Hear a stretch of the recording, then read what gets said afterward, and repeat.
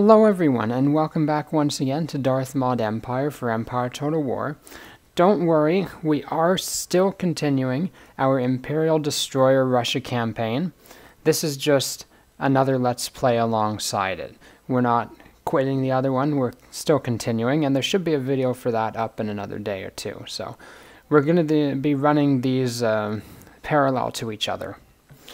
This one, we're going to be playing as Poland-Lithuania on a normal normal campaign in Darth Mod Empire. I have changed the background music, so it's not your normal Darth Mod music. It's from Empire in Ruins, a soundtrack mod for Empire Total War. I found the music actually, it, it suits my taste a little better. I, I kind of prefer it over the uh, Darth Mod music when I'm playing, and especially the loading screen music. It, it's a lot more in tune to the aspect of the game. So let's go ahead and do a, a grand campaign here, doing the DME early. We're going to pop over here to this saucy little flag and Poland. Look at the hair on this guy. And the eyebrows. This guy is going to conquer Europe just by that just by that eyebrow. It's going to make everybody submit to him. We're going to do the short campaign, doing four turns per year. Capture and hold 15 regions by 1750 including Galicia and Podolia, Poland, Brandenburg, Austria, Lithuania, Belarus, and Volhynia. And that's saucy. None of these uh, little things. But Poland is an old idea and an old kingdom, and like anything old, it has enmities and problems. The problems and enmities are those of any state surrounded by ambitious rivals, all of whom are looking to become stronger at someone else's expense. Well, that's unfortunate. Sweden's ambitions to create an empire around the Baltic, Tsar Peter's desires to make Russia a great European power to rival the style of Bourbon France, the Austrians and Prussians each seeking to define a greater Germany and secure their borders. Even the distant Ottomans have to be considered, should they ever launch a new assault on Christian Europe. And in the middle of all this, a Polish Lithuanian state that is not under the control of a single strong ruler, a man who can impose his will to defend his people. Instead, Poland is something altogether stranger, a land where the people have a say in government. Sounds absolutely atrocious, does it not? Well, let's go ahead and jump in, and we'll see if we can uh, tickle some Turks, and perhaps peruse some Prussians. Your first ah. priority ah. should be to keep the fragile Commonwealth together. Oh, goody. There are many threats to its security from all sides. Boy. Prussia has imperial ambitions and desires to connect its fractured territory. No. Sweden and Russia are squaring up for war, while the Austrian Empire already controls much of the region and may expand eastward. Oh dear. It is unlikely that the territories of Poland-Lithuania will survive entirely unscathed and no, your borders must be well defended. Polish territory is also under threat from the south. No. Galicia and Podolia borders the Crimea. Belarus and Volhynia borders Russia. The Turks ain't a threat. The Ottoman Empire may renew their quest for a greater European foothold. Never. If so, there will inevitably be clashes with both Russia and Austria. So, a wily national leader could secure a Black Sea port from the Crimea. Nasty. This would give Poland a clear line of trade to the Baltic and make it considerably richer in the process. Money? It would also be sensible to ally with larger nations that may be able mm-hmm. to assist Poland should her immediate neighbors attack. France. France, Britain and Sweden are good candidates for trade and alliance partners. Are they now? Well, goodbye, lady. Please shut up. I don't want to hear you anymore. We're currently at the start of the bat here, making 8,551 next turn. Our, uh, pr president? Don't know, it was the king. The king is elected. That's interesting. August the 2nd. He's 30. Looks more like he's 75. He is an army enthusiast, which is quite good, and an enlightened despot. A believer in name only. So he's actually not too bad. He's pretty good. But, as usual, I'm going to lower the taxes by a notch here. Because we're very nice and we like to grow our towns. Ministers. Oh, God, what the hell's bells is that? Two star, morally impaired. Who put this guy here? Let me at him. And this navy, atrocious, absolute. No, vile. Instant election. There we go.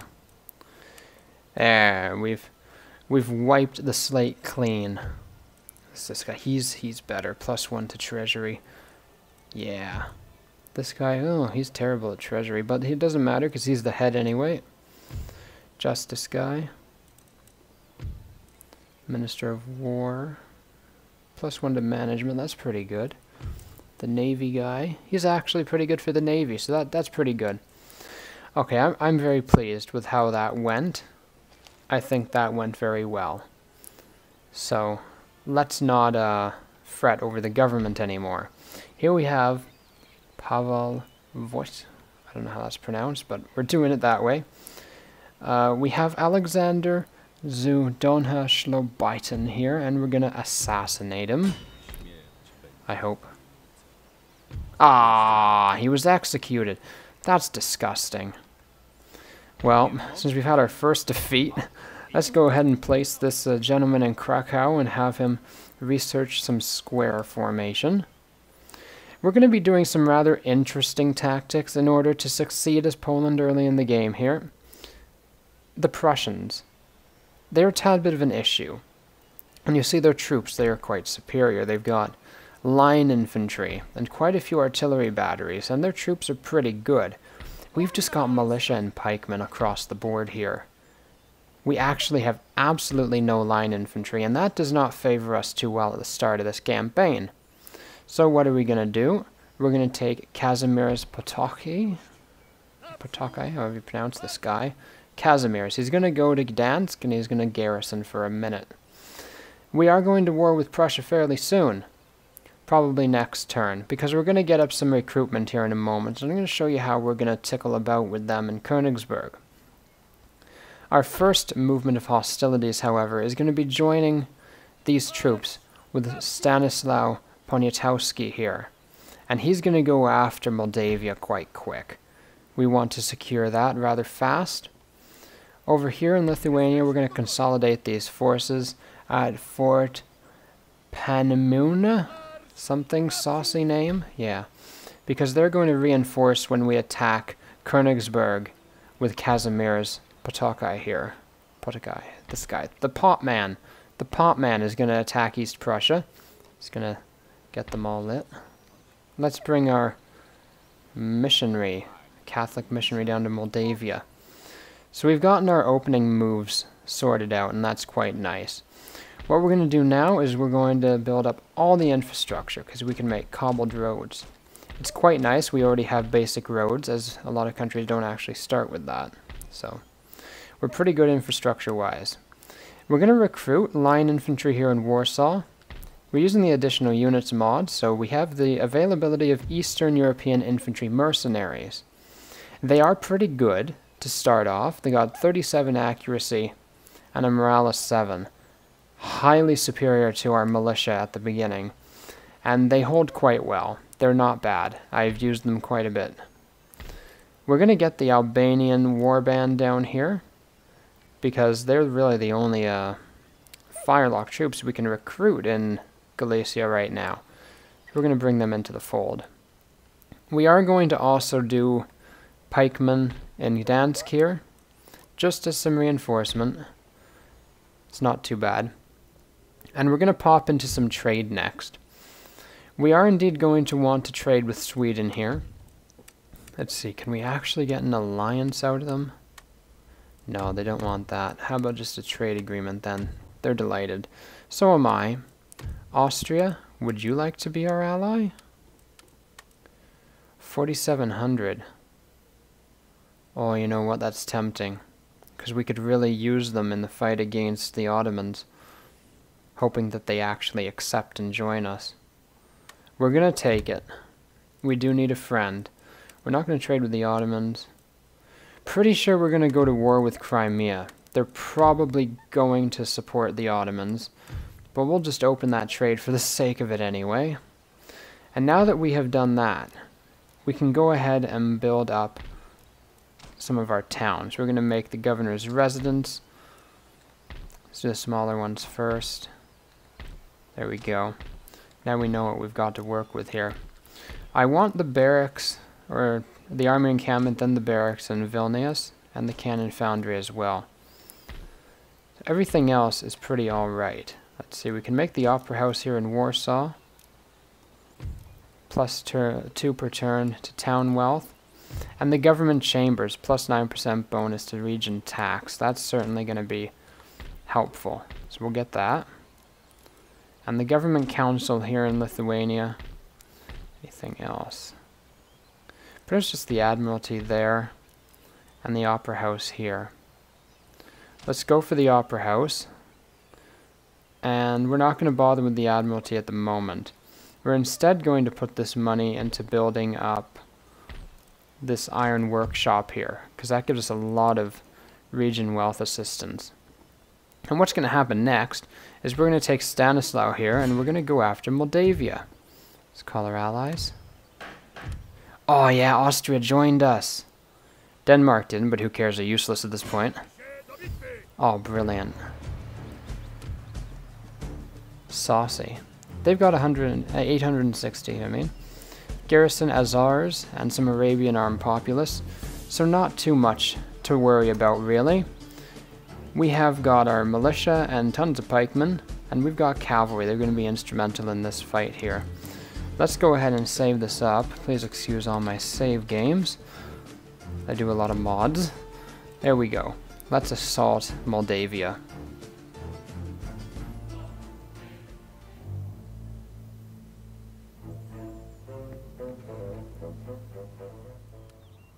And here we are, the saucy little battlefield. Let's go ahead and put our general over here by, looks like this ruined church. That's unfortunate. Fallen into a bit of disrepair there. Let's get our militia. And we're going to play with them in the center here.